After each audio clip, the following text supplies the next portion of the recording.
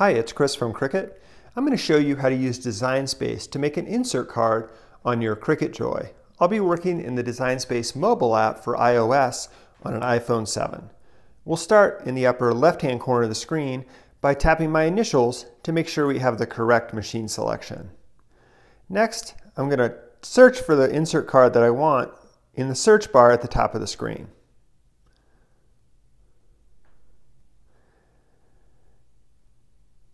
Here I'll select the card and then tap Make It in the lower right-hand corner of the screen. Here I want to go through a few things. First, insert cards require a special insert card mat, which is sold separately.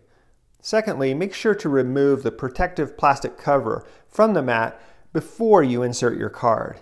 And third, as you slide your card around the clear plastic divider, make sure it butts up against the top of the card mat as shown in the picture on the screen. Now I'm going to tap continue.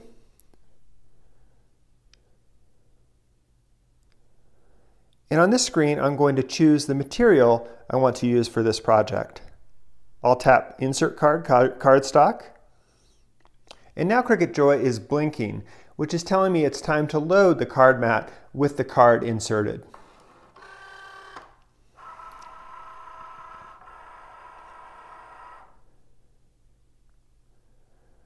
I'll tap Go in the lower right-hand corner, and now Cricut Joy will cut my card.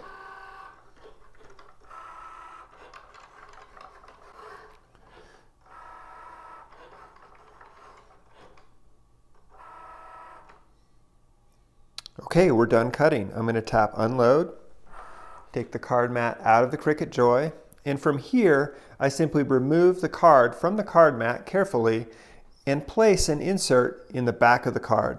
And then I'm done.